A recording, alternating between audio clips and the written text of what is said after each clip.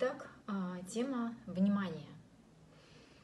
В каком возрасте дети, еще дети, примерно до 14-15 э, лет.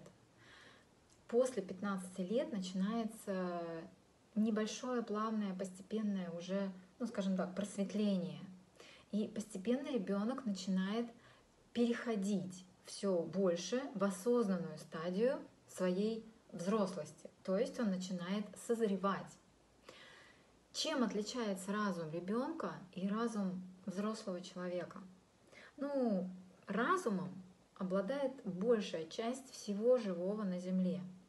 Разум э, это разовый ум, но отличие между нами это осознанность. Оно либо есть это отличие, либо нет.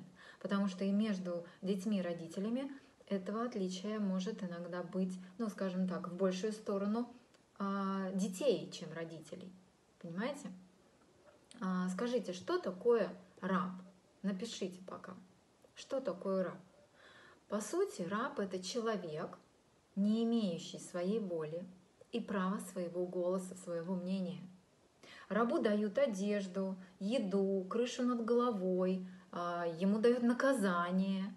Рабу говорят, куда ему идти, что ему можно делать, что ему нельзя делать. И на сегодняшний день чаще всего мы, как родители, являемся просто рабовладельцами своих собственных детей, так как мы точно так же к ним относимся.